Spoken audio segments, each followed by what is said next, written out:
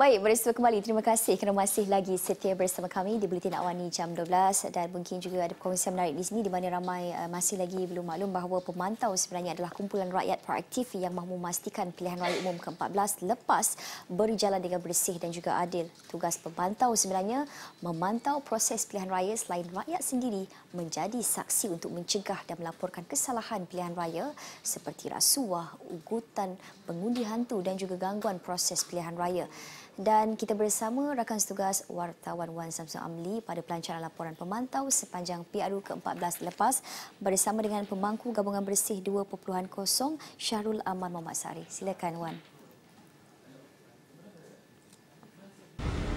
Terima kasih rakan setugas eh, di bilik berita dan seperti kita tahu pemantau adalah inisiatif yang dilancarkan oleh eh, Bersih 2.0 yang akan uh, memantau apa-apa kesalahan pilihan raya merangkumi rasuah, penjamuan makanan, pengaruh tidak wajar kerajaan, penggunaan aset kerajaan, perbelanjaan uh, berlebihan, kelakuan berat sebelah oleh pegawai-pegawai SPR, uh, undi awal dan undi pos masalah hari pengundi, selain uh, masalah pengundi hantu dan daftar pemilih yang terdapat di dalam mana-mana pilihan raya di negara ini. Dan bersama saya pada tengah hari ini adalah uh, pemangku gabungan bersih 2.0 Syarul Aman uh, Muhammad Sari.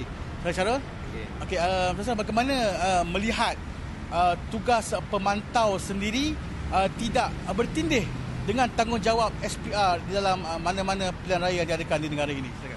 Uh, pemantau adalah inisiatif rakyat, inisiatif uh, masyarakat umum.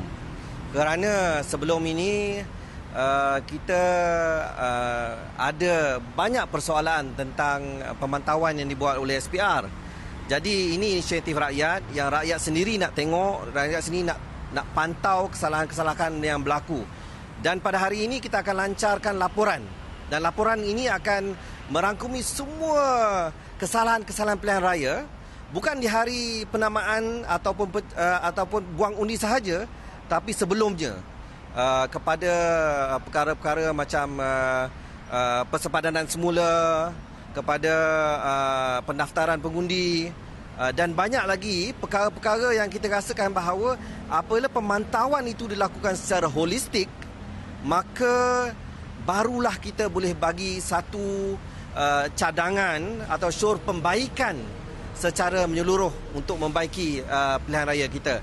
Dan kita harap uh, di masa yang akan datang uh, inisiatif uh, masyarakat umum ini, uh, civil society ini boleh digabung jalinkan dengan inisiatif oleh SPR.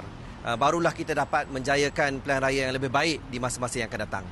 Dan uh, satu soalan pendek, mungkin uh, kita dapat rakyat selama ni ingin tahu apakah platform yang digunakan oleh pemantau untuk mereka mengadu tentang apa-apa kesalahan pilihan raya yang mungkin mereka uh, kesan. Uh, setakat ini memang kita ada masalah uh, pada yang lepas. Kerana apabila kita pergi kepada SPR kita dialihkan ke polis. Apabila ke polis polis akan alihkan kepada SPRM jadi tidak ada yang mengambil tanggungjawab. Itu telah kami uh, suarakan kepada menteri-menteri yang lepas dan sebagainya. Sebab itu kita rasakan bahawa kesalahan pilihan raya ini perlu dipertegaskan uh, dari segi undang-undang di manakah kesalahan-kesalahan ini perlu dihukum dan bidang kuasa siapa. Ha.